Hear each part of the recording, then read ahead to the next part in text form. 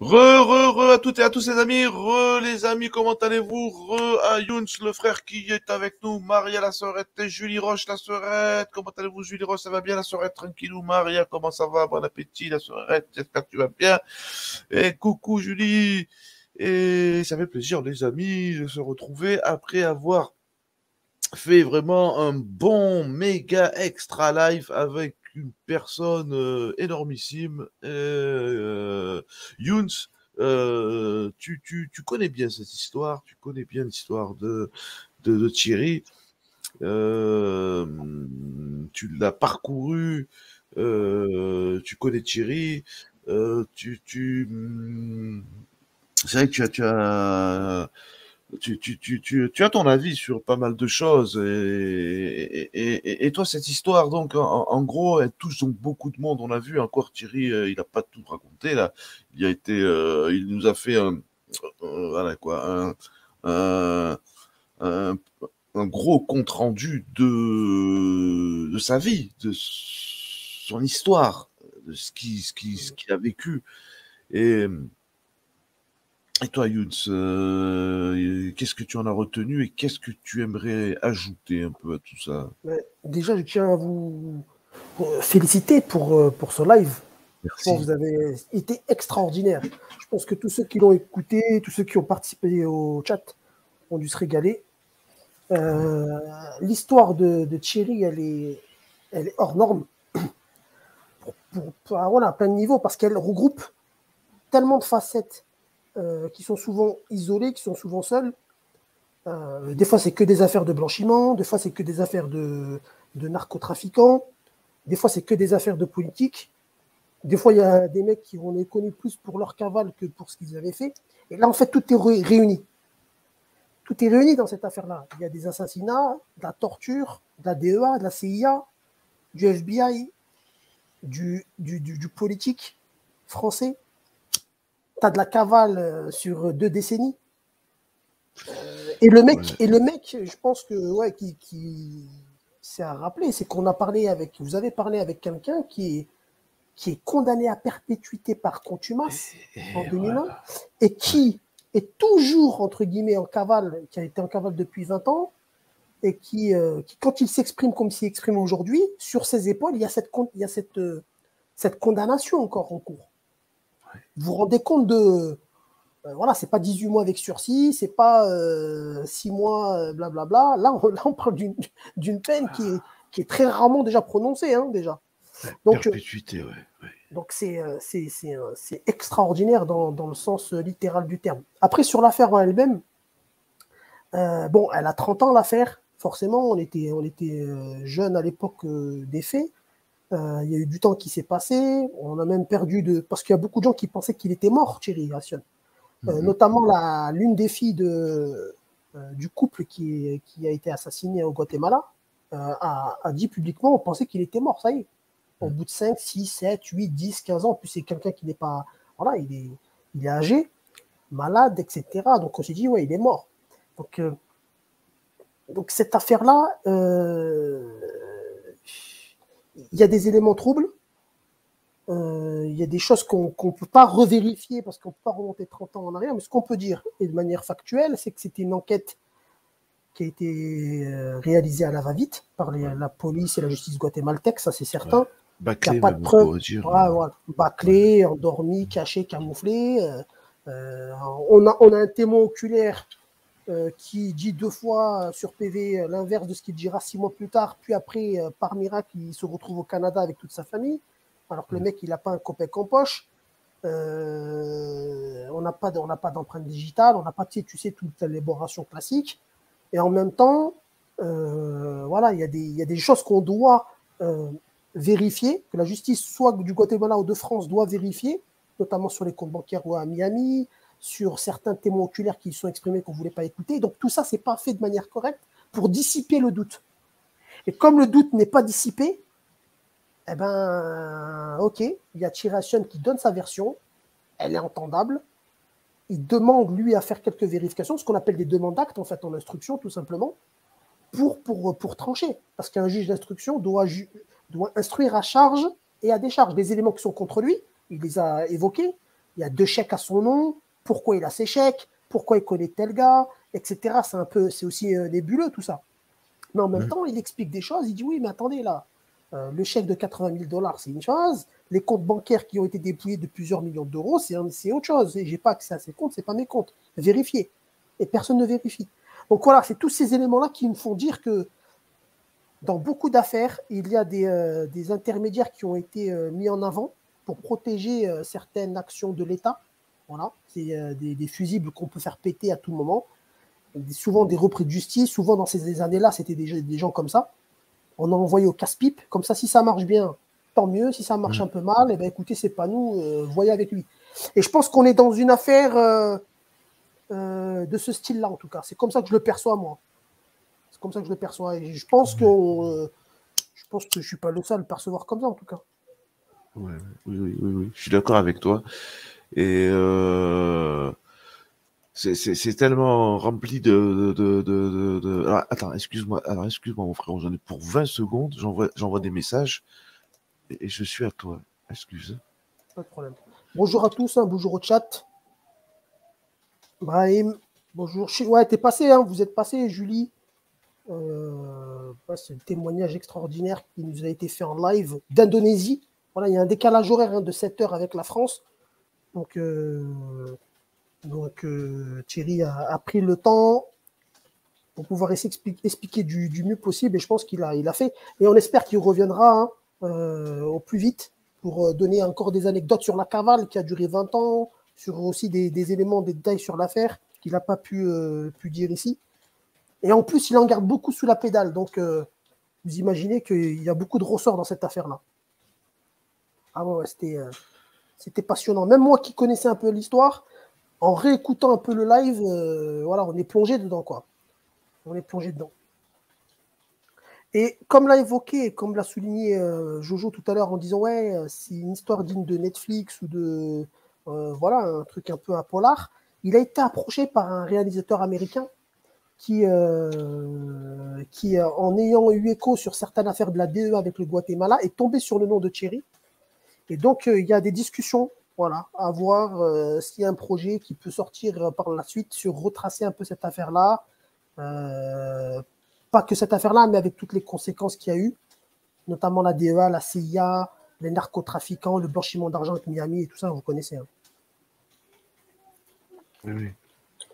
Donc, tu, nous dis, frérot, que hum, y aurait un projet peut-être? Un projet de film ou de. Oui, ouais, ouais, un projet de. euh, c'est un projet qui est en discussion avec des un réalisateur américain. Euh, Ah Je ne me rappelle plus du nom, il faut que je le checker, mais c'est pas- c'est pas officiel, hein, attention. C'est c'est en pourparler à réaliser parce que voilà, ces ressorts avec la DEA et le Guatemala, ça a beaucoup été évoqué.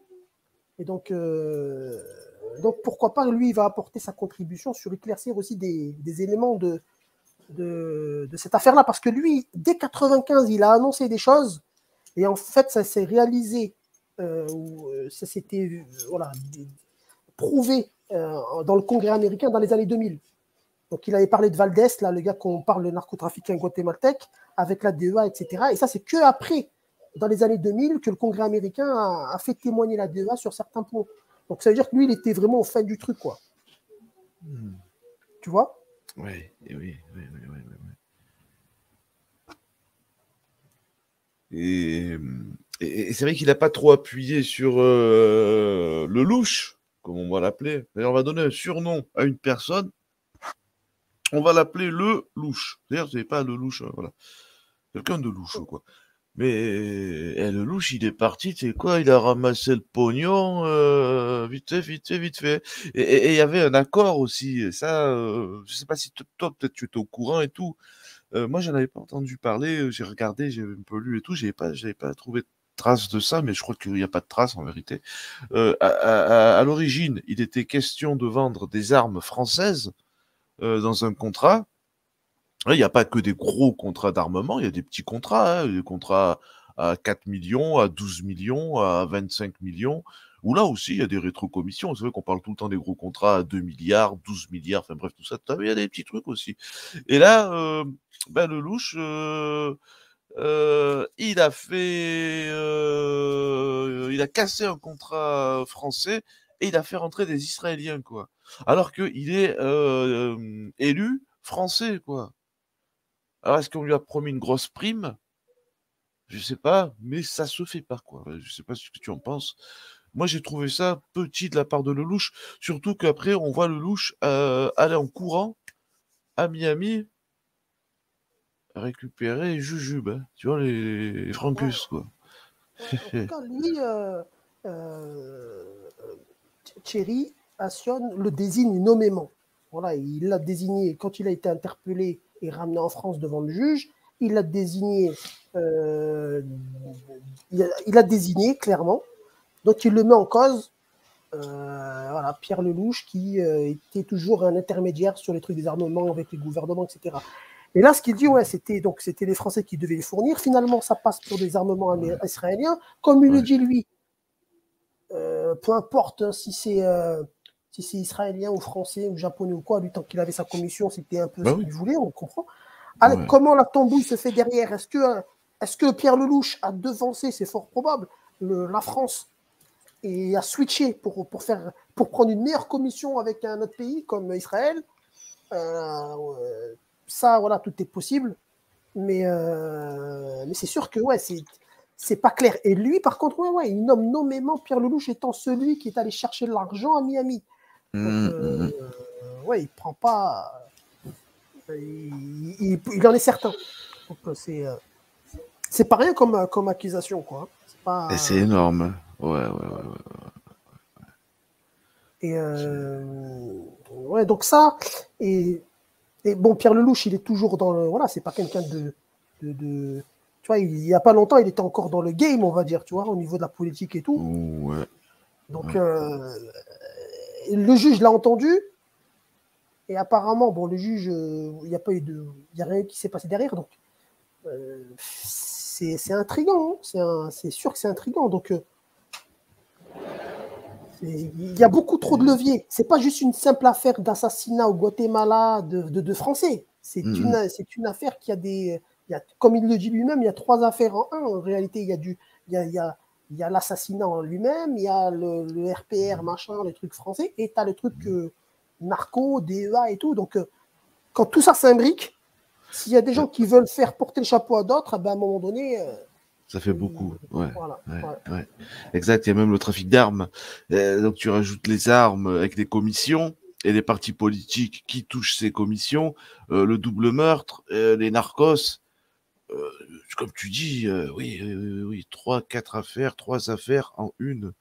Et c'est euh, surprenant, quoi. C'est vrai que ça fait un sacré melting pot et waouh. Pour 80 000 dollars, tu peux pas, tu peux tuer quelqu'un, on va dire, c'est voilà, faisable.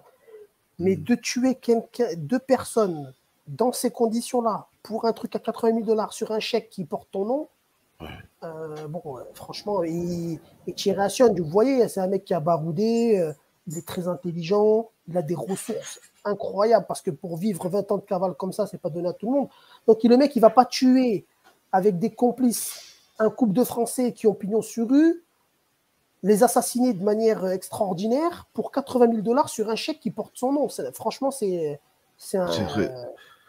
Ah, c'est fou, quoi. Ouais, ouais, ouais, ouais, ce serait complètement fou, quoi. Et, je pense que c'est ça le problème. Je pense que cette affaire-là est passée au Guatemala, que les, que les autorités du Guatemala ont fait en sorte de, de vite euh, détourner l'attention des réels problèmes. Ils ont mis ça sur le dos de Français. Voilà, comme ça, on, efface tout. Et on ne creuse mm-hmm. pas réellement les, les, contradictions et les, trucs comme ça, quoi. Oui, oui, ouais, exact, ouais, ouais. Et et à la rigueur, le souci, il est en France, hein, avec le juge Thiel. Bon, ben, juge euh, mais on a vu Thiel, on a vu l'espèce d'abruti que c'était, ce juge euh, qui, qui, qui, qui, fait boulette sur boulette, quoi. Ouais, bon, votre passeport, c'est un faux vrai. Il a même pas eu le temps de le regarder, quoi. C'est-à-dire que Thierry était avec son passeport dans l'avion, il descend de l'avion, on lui prend, le juge arrive, il lui dit ton passeport, c'est un, un faux vrai. Il dit, mais attendez, vous l'avez pas regardé, quoi. Mais il n'y a pas de faux vrai. Il y a ma photo, mes empreintes, enfin, il y a mon nom, mon prénom, mon adresse. C'est bien moi. Il m'a été délivré par des officiels français, par des gens, voilà, de la de l'ambassade. il a été fabriqué en France. Enfin, il y a non, il n'y a pas de. Mais l'autre, voilà, il s'en porte. En fait, depuis le départ, ce qu'il veut, c'est que Thierry il plonge, quoi, tout simplement, tout simplement. Et, et dans sa tête, c'est comme ça. Donc c'est une notion de la justice assez spéciale, quoi. J'ai presque envie de dire, c'est à la gueule du client. Ouais. D'ailleurs, bah, tiens, je t'aime pas, toi. Ouais, monsieur, toi le coupable, allez. Oui, mais attendez, non, moi je suis le père de la victime. Oui, mais c'est pas grave, c'est toi le coupable quand même. Non, mais le coupable, c'est l'autre. Oui, mais c'est pas grave, c'est toi. C'est pareil, c'est pareil. Euh c'était une affaire qui. si le double meurtre avait eu lieu en France, oui. Euh, tu as un pouvoir de, aller en contre-enquête, la justice française se met en action et tout. Là, ça se passe au Guatemala, dans un système particulier, et on interpelle un mec en France, et on le juge en France. Mais tu le juges sur quel Comment tu vas prouver que lui, dedans, à part le fait qu'il les connaissait, et qu'il... c'est un Tu vois ce que je veux dire? Moi, je, à part s'ils ont une preuve irréfutable qui fait que, ouais, là, on ne peut plus discuter, mais si elle, existait, elle, serait sortie déjà. On la connaîtrait dans tous les papiers qui ont été écrits pendant, pendant longtemps. Mais là, là c'est un. Je trouve que c'est compliqué de, de, ramener. Parce que demain, si demain, parce que là, il, il, il est intervenu sur Fréquence Radio, on ne sait pas ce mm. qui peut arriver pour lui dans une semaine, dix jours, on ne sait pas. Il peut voilà, être interpellé, ramené en France, euh, dans quelles conditions et tout, peut-être avoir un nouveau procès. Admettons qu'il y a un nouveau procès, un procès, euh, euh, et, sur quoi tu te bases pour mettre perpétuité à un mec 30 ans plus tard hein, Comment tu prouves qu'il a été dedans quoi? C'est compliqué. Donc, mm. donc, en fait, il y a on dirait qu'il y a un mix des deux. On dirait que la France voulait le laisser de côté et qui finisse sa vie comme ça tu vois, en mode, vas-y, il n'y a plus rien à voir circuler, l'affaire est à date. Le fait qu'il réapparaisse, qu'il se fait interpeller, qu'il parle un peu, etc., ben ouais, ça remet tout le monde dans le bouillon. Et je pense, j'ai l'impression qu'ils veulent pas trop ça, tu vois. Donc c'est pour ça que ça fait plusieurs mois qu'il est en Indonésie bloqué. Si c'est quelqu'un, euh, et vous en avez parlé de certaines personnes qui étaient recherchées par la police, etc., si on avait eu de vent qu'ils étaient là-bas, dans les 24 heures, ils seraient allés le chercher, le ramener, point barre, quoi. Donc, coupe court. Là, j'ai l'impression qu'il y a un mix des deux. C'est-à-dire, ouais, on aimerait bien qu'il continue à voguer là, sur son bateau dans les îles euh, euh, d'Asie du Sud-Est et qu'il nous laisse tranquille et qu'il ne ramène pas cette affaire-là au centre du jeu, tu vois. Il y a un peu cette impression aussi, tu vois. Oui, oui, oui. je suis d'accord. après, après, voilà, après on l'écoute parler, il explique bien, il rentre dans les détails, il a dit d'emblée, je ne veux pas euh, je n'ai jamais dit que j'étais innocent ou je ne veux pas dire oui, je suis innocent, point barre. Lui demande une seule chose, il ne demande pas autre chose, pas de, de compassion particulière, qu'on brandisse des panneaux pour dire euh, Thierry est innocent. C'est pas ça. C'est je suis dans une défense, euh, je vais à un procès, je veux un minimum qu'on cherche à prouver ce que je dis ou pas. Sur les comptes bancaires, sur certains témoins oculaires, etc., ou certains acteurs troubles, qu'on puisse déboussiérer là pour voir si ce qu'il dit tient la route ou pas. Et ce qu'il avance, il dit que la France, et donc le juge euh, Thiel, avec son instruction, n'a pas fait le nécessaire pour pouvoir euh, euh, lui donner l'égalité de défense en réalité. C'est ça qu'il veut mettre en avant. Une fois qu'on a mis sur la table tout ça, après on peut dire ah, comment on voit la chose, etc. Là, le problème, c'est qu'il n'y a qu'un son de cloche. Tu es complice des deux mecs, tu es dedans et tu t'en sortiras pas. Non, non, non, non. Ouais, parce que le juge n'a même pas fait d'effort en 4 ans et demi, un, peu plus 4 ans et 7 mois ou 4 ans et 8 mois de détention provisoire en préventif. Donc, euh, il n'a même pas été vérifié euh, quoi que ce soit. C'est-à-dire que Thierry, il arrivait avec euh, des éléments qui, qui, qui, simplifiaient tout. Voilà, j'ai ça, j'ai ça, j'ai ça. Mais s'il vous plaît, monsieur le juge, vérifiez vérifiez, comme ça vous allez me relâcher euh, on se voit dans quelques mois pour le procès. Non, non. Non, il a rien fait, rien fait, rien fait. Ou, alors, il, dit que, le meurtre et qu'après il y a eu que les comptes bancaires Miami ont été dépouillés. Il dit c'est Thierry Assion qui l'a fait, mais en même temps, dans le bouquin qu'il écrit maintenant, il dit euh, on est allé sur place à Miami et euh, finalement euh, on a été barré pour connaître la vérité. Donc, là, c'est deux choses Ah. contradictoires. Soit tu affirmes Ouais. que c'est lui et tu as une preuve, soit tu dis qu'on fait- finalement on ne sait pas et tu peux pas affirmer que c'est lui. C'est Ah pas ouais, possible, ouais. ça. Ça peut pas tenir. Et, et, et. Thierry dit, lui va plus loin un peu dans l'explication. Il dit, moi je pense qu'il qu'il- qu'il est jamais allé à Miami avec les mecs du FBI. Il a jamais rien fait comme ça parce que c'est voilà. Il, savait que pas c'était pas ça. Ouais, que du blabla, quoi. Ouais, ouais, ouais. Donc ça, c'est un juge qui est aux ordres. hein. Ça, c'est un juge qui a, qui a dû rencontrer euh, dans, des- dans son bureau ou dans un, un beau resto ou voilà, voilà, euh, deux, trois envoyés euh, euh, ou conseillers spéciaux de certains politiques et qui lui ont dit, bon, écoute, euh, l'affaire, euh, Thiel, Thiel, hein, on te fait confiance. Euh, voilà, quoi, c'est simple. hein, il se passe ça. Euh, le coupable, c'est lui et lui et lui. hein. Tu fais tout pour que ce soit eux et basta. Donc, Mm, mm. ce juge est aux ordres. Il est aux ordres. Et tout ça est. Mais c'est crade. Voilà, Tu, sais- tu sais, les juges, je vais te dire, les juges en, en- bon, on parle de la France parce que c'est le, le pays que je connais le mieux en justice. Hmm. Déjà, quand ils récupèrent un dossier franco-français, ils font le strict minimum. Ils relisent le, le dossier, ils lisent l'enquête policière, ils signent et basta. Ils ne veulent pas prendre les patins d'un autre juge. Mm. C'est rare, ça, à part dans des affaires très grandes, tu sais qu'il y a une grande exposition en France, tu dis, ah là, moi je vais découvrir la vérité et je vais faire le taf, je vais me replonger dedans. Mm. En principe, les, juges, parce que dans, dans une affaire euh, euh, criminelle, comme ça dure des années, c'est rare qu'il y ait qu'un seul juge qui s'occupe du dossier. Parce que vous savez, au bout de 2-3 ans, 4 ans, ils changent, ils tournent les juges. Tu as un dossier, tu as un mec, t'as un juge qui l'ouvre le dossier, il fait son taf. Au bout de 3 ans, s'il est muté ou qu'il change, etc., c'est un nouveau juge qui débarque. Et ce nouveau juge-là, il ne va, pas- il va, il va pas reprendre l'enquête de zéro. Il s'en fout. C'est Kader machin, c'est Kader machin, vas-y, c'est tout. Allez, euh, tout est contre toi, point barre, je te renvoie aux assises et me prends plus la tête. Et tu te démerdes devant les, les assises. Et là, c'est Mhm. pile ou face. Alors imagine-toi que l'affaire, est au Guatemala. Déjà, elle, est, elle est scandaleuse, elle est énorme. Le mec, il n'est pas là pendant des années. Il est en contact avec un juge, donc une femme, la Dré, qui elle-même, après, n'est plus dans l'affaire. Et c'est un nouveau juge Thiel qui, à la base, contre, euh, c'est un juge anti, anti- dans l'antiterrorisme, qui récupère un dossier comme ça. Je crois que le mec, il va faire les enquêtes. Il s'en fout. Il va dire c'est le mec qui s'est échappé. Ration, il a un CV de bandit. Ben écoute, euh, la voie royale, hein, va Ah, en c'est prison. C'est réglé. Hein. Ouais. C'est- tu vois, l'issue, elle est, l'issue, elle est trop dure, tu vois, elle est compliquée, surtout qu'il a fait 4 ans et quelques de prison, il a des dossiers. Euh, tu vois, c'est. Le mec, il allait pas faire le, il allait pas faire son taf, quoi. Je, moi, je le voyais pas. Et en plus, si c'est un juge, je le connais pas, ce juge. hein. Mhm. vu les déclarations de, de Thierry, c'est quoi? C'est que c'est un mec un peu déjà. euh, il a, il a la- il a l'alcool facile, il Mhm. est un peu dilettante, il sait pas de quoi il raconte.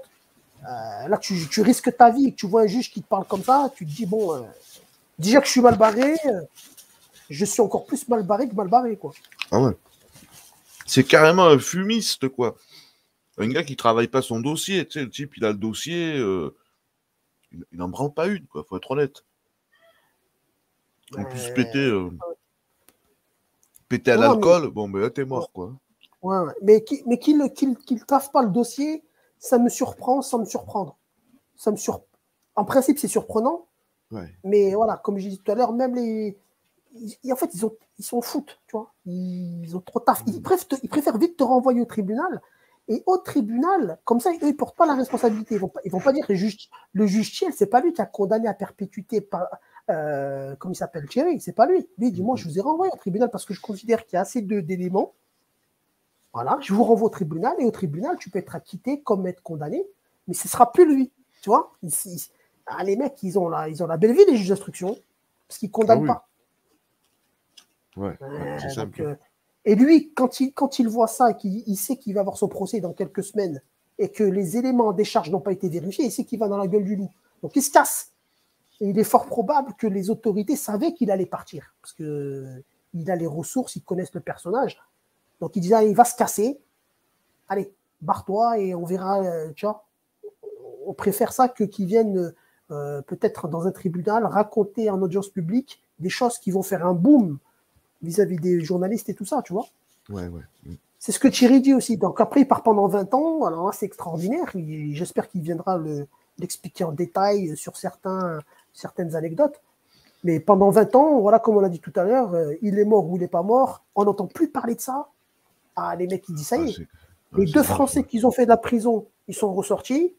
Il y en a un mm. qui est toujours au Guatemala, euh, qui veut plus parler de l'affaire, tu m'étonnes. Un autre qui est sorti un peu plus tôt que l'autre. Donc le Biré, là, est sorti un peu plus tôt parce que il a, il a permis de faire condamner un commissaire euh, euh, du suisseau-guatémaltèque. Donc c'est un peu bizarre aussi son histoire à lui. Mm. Mais les mecs, quoi, ils ont purgé leur peine. Plus personne parle de cette affaire-là. Assion, il est mort ou pas, on ne sait pas. Là, les Lelouch, RPR, justice française, etc., il dit c'est bon. Dossier suivant. Sauf que là, tu vois, hop, ça, ça ressurgit. Et comme ça ressurgit, eh ben, tout ressort en même temps. L'affaire en elle-même et les possibles implications de, de personnes très importantes. Et là, ça va déranger, ça dérange. Oui, ça dérange, ouais, ouais, ouais, ouais. Et comme il dit Thierry, en plus, euh, à chaque fois, tu sais, c'est, euh, des élections qui arrivent, quoi. C'est-à-dire là, on a trois mois de, de l'élection présidentielle. À l'époque, c'était pareil, c'était euh, ben, Balladur, Chirac et Jospin, ça se joue à trois, quoi. Et en gros, on disait comprendre, attends l'élection, après tout va s'arranger. C'est le louche, ça, qui lui dit en plus, ça, qui lui dit, ouais, mais t'inquiète, là, je peux rien faire, il y a une élection attends qu'elle passe, on va gagner, tu verras, tout va s'arranger. Puis en fait, euh, non, quoi.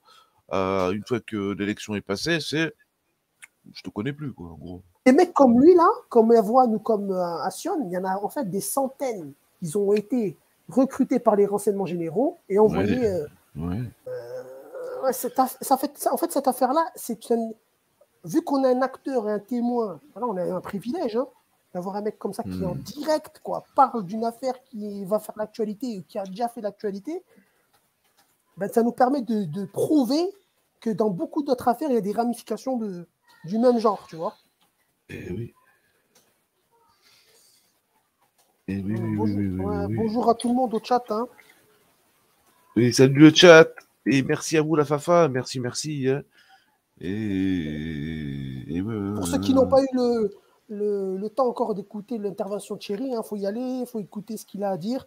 Vous allez aimer. C'est une histoire, euh, ah, voilà, c'est une histoire improbable, unique, quasiment unique en son genre, on va dire. Et en plus, il a, hmm. voilà, il a, il a donné l'opportunité de venir s'exprimer euh, euh, sur fréquence avec Jojo et Maria pour vous. Voilà, et en plus, il voulait délivrer sa version des faits. Donc, il ne faut, faut, pas hésiter à faire tourner la vidéo et à la regarder. Hein. Ah oui, oui, oui, oui, oui. Faites la tournée, les amis. Euh, exactement, quoi. Et, euh, et là, c'est du concret, quoi, comme on dit. Hein. C'est euh, vrai que quand t'écoutes ça, tu es sur, sur le cul, quoi. T'entends les noms, les types. Euh, là, il y a des preuves, quoi. Les gars, ils vont, ils se jettent sur l'argent. Euh, sur les comptes en banque, euh, j'imagine le louche, tu sais, faire des allers-retours, euh, les valises remplies de cash ou en jet privé, je sais pas, tu sais. Putain, je dis, ah ouais, d'accord. Ça, ça, nous rappelle un peu avec Sarkozy et Mamie Zinzin, quoi, à l'époque, quand quelqu'un expliquait que Sarkozy allait chez Mamie Zinzin, hein, l'héritière L'Oréal, euh, il, il, a baratiné pendant 10 minutes, 20 minutes, et il ressortait avec des valisettes euh, remplies de pognon, style, bon, mais combien il te faut? Tiens, vas-y, du liquide, hein, comme d'hab, ouais, ouais, tiens, vas-y, euh, prends ça, et fais pas chier. Oui, merci, mamie, euh, gentil. c'est la réelle politique, quoi. C'est un monde hallucinant, quoi. Mais c'est un monde. C'est un monde que si tu l'as pas vécu, moi je l'ai pas vécu. Hein. Il y a d'autres mondes que, que, que, je voyais d'extérieur, une fois que je les ai connus de l'intérieur, je me disais, ah ouais, si vous n'êtes pas dedans, vous ne pouvez pas comprendre, entre guillemets, toutes les, voilà, toute la nébuleuse. Mais le, milieu politique, dans des trucs, des affaires comme ça, si tu n'es pas dedans, je crois que tu ne peux pas comprendre à quel point c'est, c'est global, c'est puissant, surtout quand après c'est en lien avec l'argent, avec l'international. Euh, je crois qu'il n'y a, rien, a rien de plus fort, en fait. Le braqueur de fourgon, le braqueur de banque, le vol à l'arraché, qu'est-ce qu'il a à voir avec ce niveau-là? Rien du tout. Ah ouais, non. Rien du tout.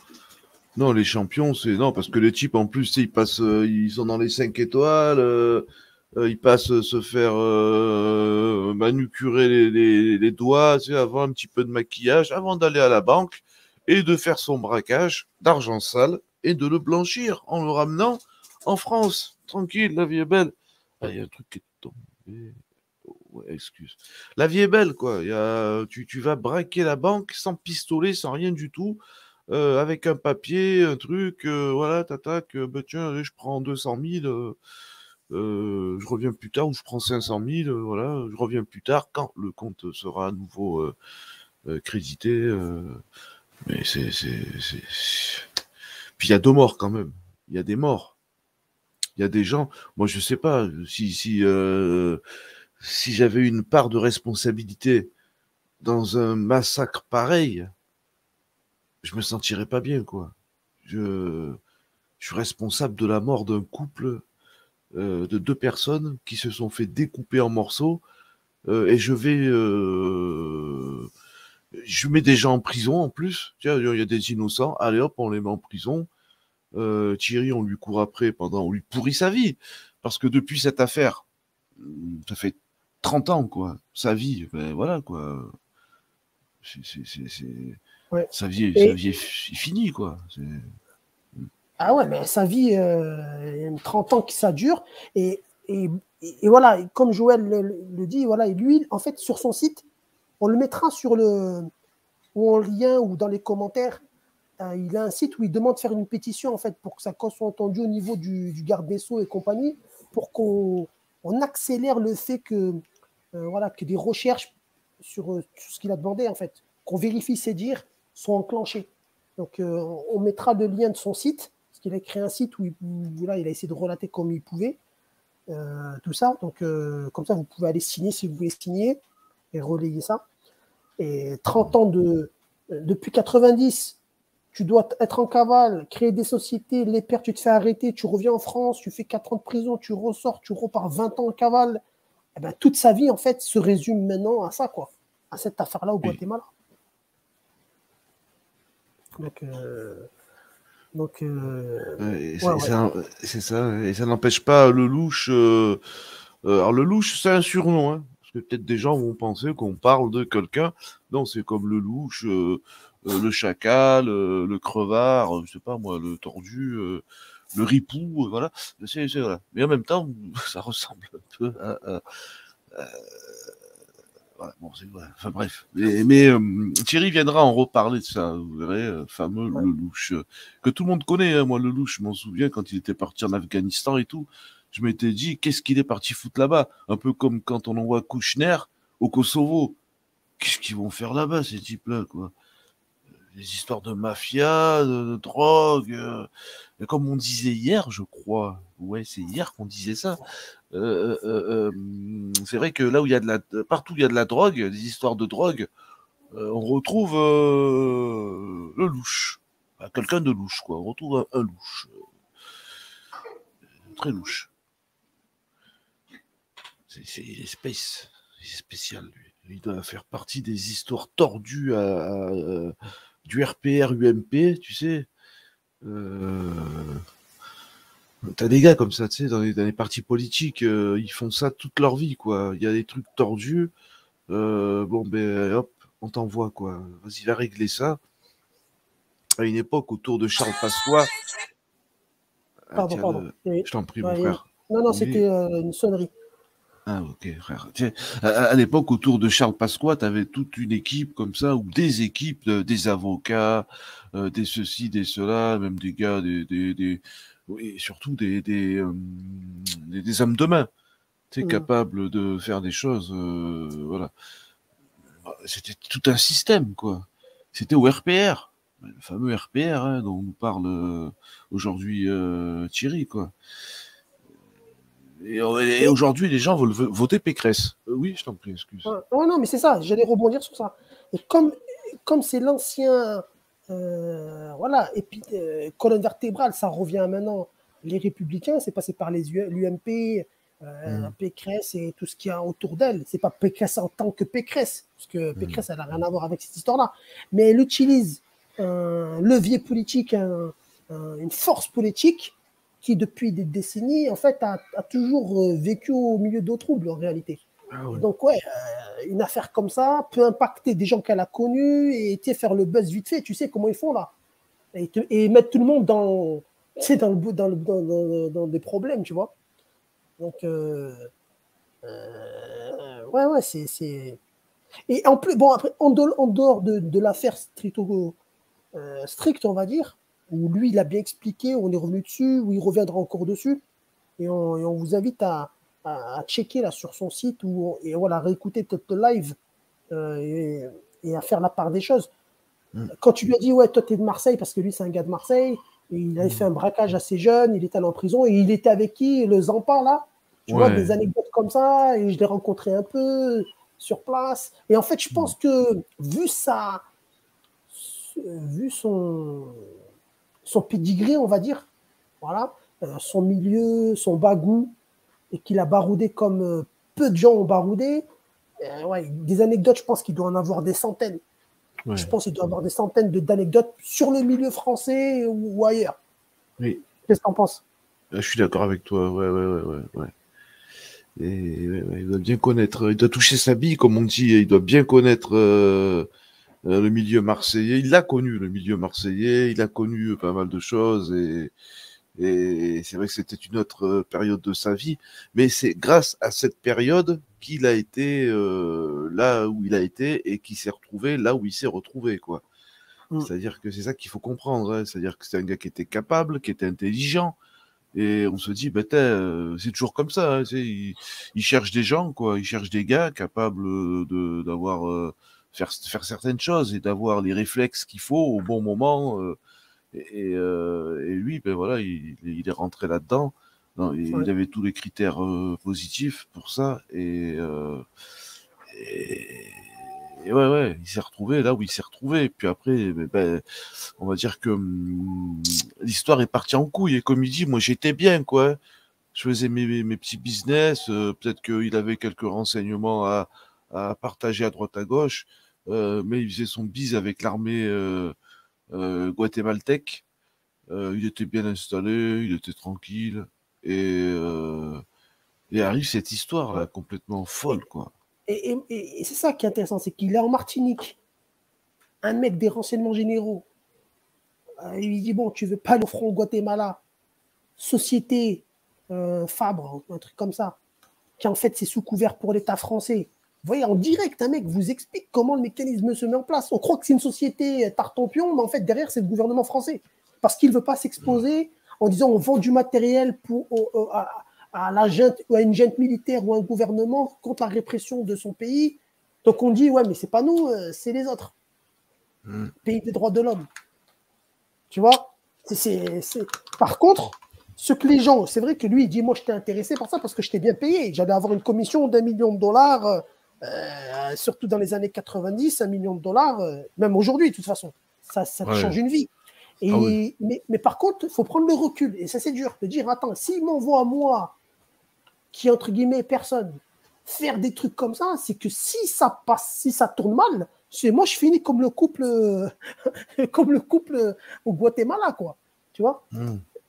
et, donc, faut C'est ça, ils savent jouer sur ces ressorts-là pour mmh. t'envoyer au casse-pipe et une fois que toi ça pète, et eh ben, ils vont dire ouais, mais c'est toi tout seul. Hein. Oui, c'est ça. Une fois que tu es dedans, euh, euh, dans ce job, quoi, dans ce, ce, métier, dans ce truc, c'est euh, tu peux tout faire à condition de pas te faire attraper. Si tu te fais attraper, on te connaît pas. On te connaît pas. Voilà, comme dans, je sais plus c'est qui, c'est ça, c'était Mission Impossible, non? Si ta mission ça part en sucette, frère, on te connaît pas, quoi. Tu vois. Good luck, tu vois. Ah oui, oui, oui. ce, qui, est grave, c'est que ça se passe comme ça en plus, hein, tu vois. Puis t'as des gars, t'as des gars, tu sais, je me souviens de l'histoire du gars au Canada, quoi. Euh, je, me souviens plus de son nom, mais le type, il, appelait, quoi, tu sais, il les appelait, il disait, mais attendez, moi je fais partie, appeler les, autorités françaises, et ils ont rien lâché, ils voulaient rien savoir. Non, non, on le connaît pas, quoi. Ah, les enfoirés, quoi. Tu peux faire un truc. Euh, ah non, ils peuvent pas, se mouiller pas. En fait, c'est comme des espions du KGB, en gros, va là-bas et fais ton taf. Tu vois, au moins industriel, on va dire, mais et si tu te fais péter, tu te fais péter. Hein. Tu vois, et le mec, voilà, le couple qui avait un Guatemala, c'est vrai que pour aller au Guatemala, franchement, il faut le faire quand même. Je vais au Guatemala ouvrir un restaurant, c'est pas la première idée qui va me venir à l'esprit, je ne vais pas vous mentir. Euh, bon, les mecs qui vont au Guatemala, même aujourd'hui, je ne sais même pas quelle est la situation du Guatemala, mais bon, je ne sais pas, je vais pas dire que je vais aller au Guatemala. Allez, je vais aller au Mexique, je vais aller au Costa Rica, vas-y, parce que je, euh, on en parle, tu vois, un peu. Guatemala, bah, et surtout c'est la guerre civile. Tu vas là-bas, tu ouvres un, un restaurant où tu as, as, toutes les grosses têtes qui viennent chez toi, où toutes les semaines, toi, tu vas avec ton épouse à Miami déposer de l'argent.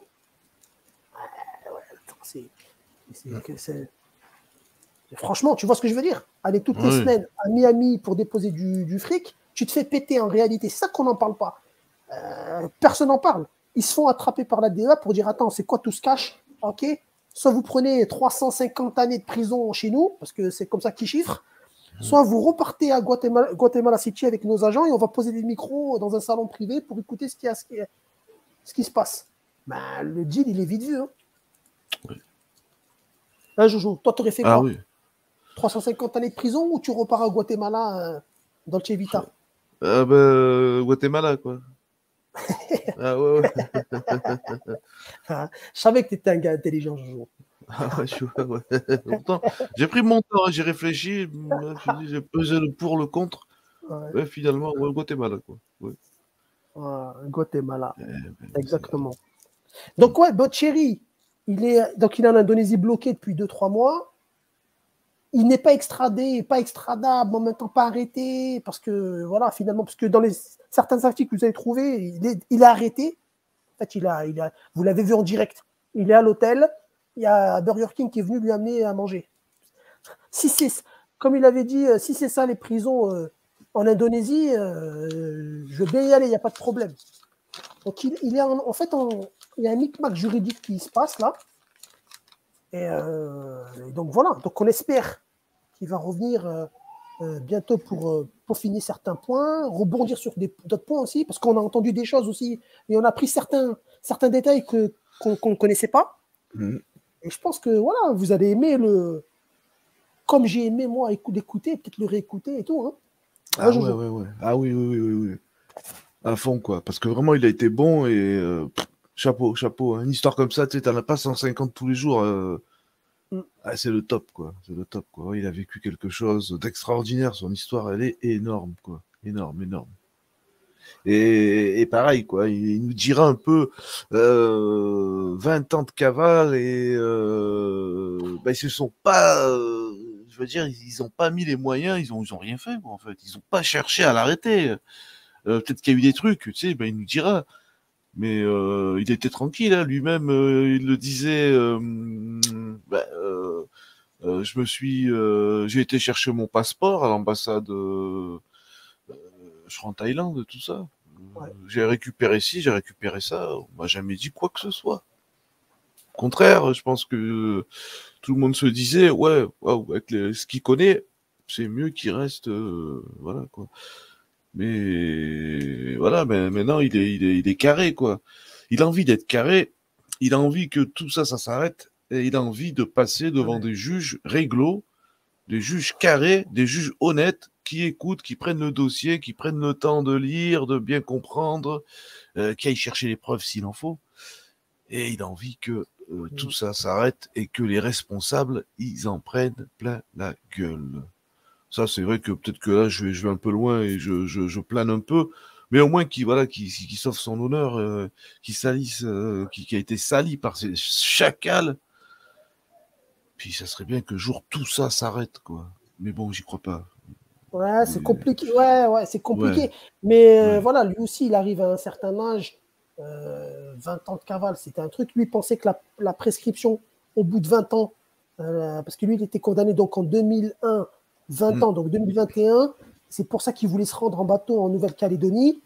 La Nouvelle-Calédonie, c'est encore français. Donc voilà, il dit je récupère mes papiers classiques et basta. De toute façon, c'est fini.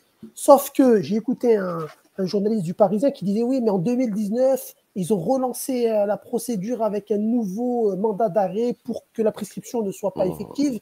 Bon, Ouais. est-ce que c'est vrai, pas vrai? Je ne peux pas vous en dire plus. Mais bon, on voit que maintenant Thierry, euh, voilà, il veut, il veut que ça s'aplanisse, il veut euh, rentrer auprès des siens, euh, dans sa région et finir sa vie euh, tranquillement. Parce que là, parce que là, l'issue c'est quoi? C'est continuer à voguer à droite à gauche et dormir sur une oreille jusqu'au bout. C'est pas ce qu'il veut, je pense pas. Donc Mm. peut-être que lui, il nous expliquera aussi comment il voit les choses pour l'avenir, comment il aimerait que ça se passe aussi. Bon, voilà, là c'est assez super délicat parce que franchement, euh, on peut chercher des affaires similaires où un mec condamné à la perpétuité qui, on sait où il est, parce que les gens, en principe, quand ils, quand ils partent, on dit par exemple tel gars, ils sont recherchés depuis 20, 30 ans, mais on ne sait plus où ils sont. On, on- tu vois, on a, on a plus leurs leur, leurs nouvelles. Tandis que là, les autorités françaises, ils savent où il est. Mm. Vous voyez ce que je veux dire? C'est pas, c'est pas comme on dit, oh, on ne sait pas où il est. Ils savent où il est là depuis trois mois. Il n'y a personne qui a débarqué pour dire bonjour monsieur. Je pense que Ouais. le débrief, tu on l'a fait, on l'a, on l'a, voilà, on l'a fait partiellement, c'était intéressant. Après, Ouais. après, ce qui serait bien, c'est que là, plus tard, c'est d'autres gens qui ont écouté le live, qui connaissaient Ouais. pas la, la personne ni l'affaire, qui viennent dire ce qu'ils pensent de vois, sur leur ressenti. Parce que moi, parce que moi, je connais un peu l'affaire, le bonhomme. Mm, mm. Euh, voilà, toi, pareil, tu l'avais étudié un peu, tu as parlé avec lui pendant trois heures. Ce serait bien mm, quelqu'un qui n'avait, qui n'était pas au fait te dise, ouais, quand vous a parlé de Assion que vous connaissiez pas, qu'est-ce que, qu'est-ce que t'en dis? Ça c'est intéressant d'avoir leur opinion. Exact. Ouais, ouais, ouais, ouais. Mais on, on- on le fera ça. On va, on va le faire. Même si tu veux être là ce jour-là, euh, avec plaisir. Hein. Ouais, et pas de problème. euh, et, et- et c'était, ouais, ouais, ouais, ouais, c'est une bonne chose ça. Et désolé quoi, parce que c'est vrai que j'ai la dalle, je te jure. Mais bon, je voulais que tu sois là avec nous parce que c'était important, parce que tu connais bien, bien, bien le dossier. Et je voulais que justement que tu, tu, tu apportes ta, voilà, tu connais bien Thierry, tu connais le dossier. Il fallait que tu apportes ton, ton, ton, ton que tu étais tes mots à dire, mon frère. Et bravo, Bra- merci à toi, merci à toi. Ouais, merci à vous. Et merci, à Thierry beaucoup. surtout. Merci à Thierry. merci, euh, merci, un grand merci à Thierry, pris- ouais. il a pris du temps, il a pris sur lui, il a Mm. expliqué, c'était cool pour tout le monde, et, et surtout pour les auditeurs. Là, je Mm. pense que, voilà, comme il a dit Jojo, c'est pas tous les jours qu'il y a une affaire comme ça, que le mec vient témoigner. Il fait un premier live de sa life sur YouTube, il le fait chez nous, quoi. Et ben, c'est top. Super. top, ouais. Merci à Maria, merci euh, à, Merci à, à, à vous toutes et vous tous, tes amis. Et merci, merci Younes encore. Un grand, grand, grand merci à toi. Et, eh ben, les amis, euh, je vous souhaite un bon appétoche, un bon appétit. hein, et hum, ben, écoutez, moi, je vous, comme disait Younes, si vous savez pas quoi faire, allez réécouter le frérot Thierry. Et vous allez voir que vous allez encore mieux comprendre en réécoutant une seconde fois, quoi. Mais voilà, il a gardé des choses et il reviendra bientôt, j'espère. Et oui, je pense qu'il va bientôt revenir nous voir et il nous racontera encore une autre partie. Vous allez voir, c'est la réelle politique. C'est euh, c'est sacrément tordu, quoi. Ouais. Eh ben, ciao tout le monde. Ciao Younes. Ciao, ciao, bye bye. Ciao, ciao. Ciao, ciao, bye bye. Gros bisous à tout le monde chez toi. hein. Et bisous à vous toutes et vous tous aussi. Ciao les amis. Et, et bisous, bisous, bisous. Eh ben écoutez, euh, voilà, voilà, j'ai essayé de faire le tour de tout le monde. Il y a du monde. hein. Donc ben, j'embrasse tout le monde. Voilà, je vous embrasse à toutes et à tous. Je vous dis bonne app et à plus tard les amis. Ciao, ciao, ciao. Merci. Ciao. J'ai la dalle, putain.